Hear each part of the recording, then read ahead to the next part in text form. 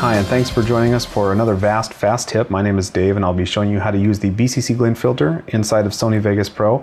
Uh, the BCC glint filter is from the Boris FX Boris Continuum Complete line of filters, and uh, particularly within reference to using it with alpha channel transparent footage.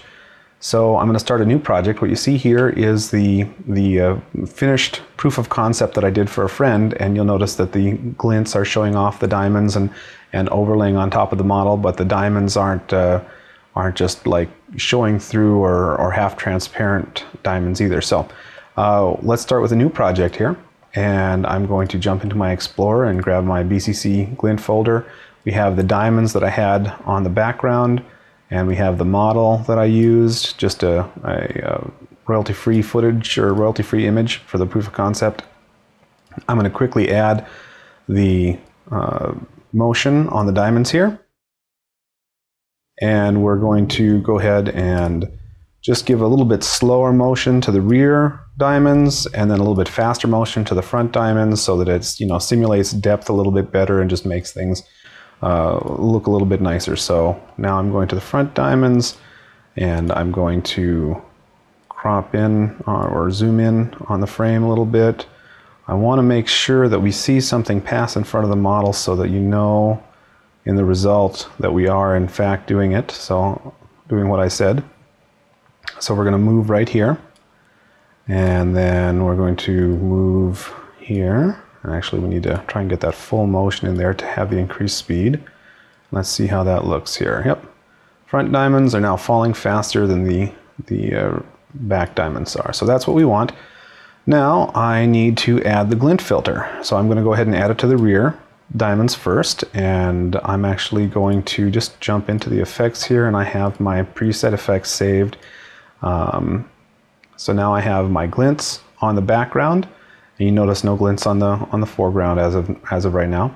And then I go ahead back to the video effects and grab my diamond glints for the front. And when I do that, uh-oh, everything disappears.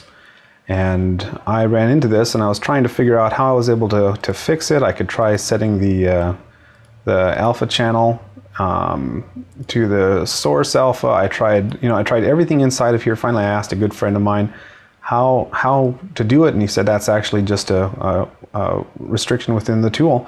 So I said, well, that can't be. I've got to figure out a way around that. And I started fiddling, and I, I of course, you know, there's the option to uh, like screen something over top, and and that certainly works, except for the fact that uh, we have, if you see the diamonds here falling, you can see that they're they're laying right on top of the girl, and you're getting skin through there, and it just it doesn't quite like you don't see diamonds we've got lots of little facets and everything so you're not going to see directly behind what the what the diamond is. So as this is falling I'm, I'm saying oh that's not going to look good. So what I decided to do then was to go to uh, a little bit of a workaround. I said okay I've got my motion I've got my diamonds falling I've got the glints I've got the glints showing up but I've got a problem with the see-through and it struck me to just go ahead and now we're going to duplicate the track and I'm going to uh, delete the effects off of the bottom track and set this to source alpha.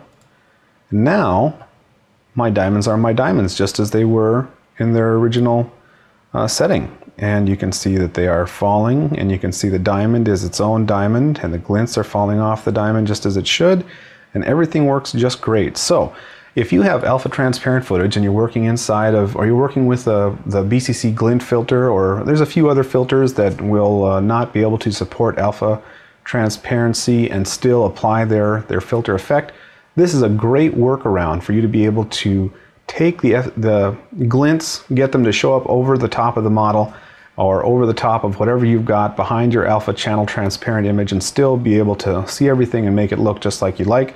Be sure to check out our other video on demand training at our VOD channel on our website, as well as our free training on our YouTube channel. We have production and post production training for all your various needs, so remember to learn it fast with VASST.